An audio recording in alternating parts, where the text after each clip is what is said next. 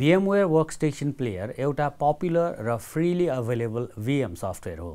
यसलाई डाउनलोड गर्नका लागि ब्राउजरमा यो web address www dot भिएमडब्लुएआरई dot COM slash पिआरओडियुसिटिएस slash डब्लुओआरकेएसटिएटिआइओएन dash पिएलएवाइइआर dot एसटिएमएल अर्थात् www.vmware.com slash products slash workstation dash player dot html type गरेर enter गर्ने।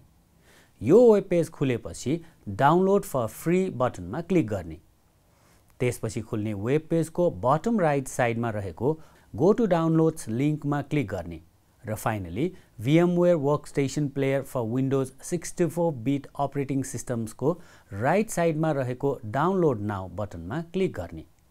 अब VMware इन्स्टलर फाइल डाउनलोड हुन सुरु हुन्छ। फाइल डाउनलोड भइसकेपछि यसलाई ब्राउजरबाटै अथवा डाउनलोड्स फोल्डरमा गएर डबल क्लिक गरेर ओपन गर्न सकिन्छ। फाइल ओपन गरेपछि do you want to allow this app to make changes to your device भन्ने प्रम्प्ट आउँछ। यहाँ यसमा क्लिक गर्ने। त्यसपछि VMware सेटअप विजार्ड खुल्छ। यसमा नेक्स्ट बटनमा क्लिक गर्ने अनि I accept the terms in the license अग्रिमेन्टमा tick लगाएर चार पटक नेक्स्ट बटनमा क्लिक गर्ने र फाइनली इन्स्टल बटनमा क्लिक गर्ने। अब इन्स्टलेसन प्रोसेस सुरु हुन्छ। इन्स्टलेसन कम्प्लिट भइसकेपछि फिनिस बटनमा क्लिक गर्ने। अब स्टार्ट मेन्युमा गएर भिएम टाइप गर्दा VMware वर्कस्टेसन प्लेयर एप्लिकेसन देखिन्छ। यसलाई क्लिक अथवा एन्टर गरेर खोल्ने।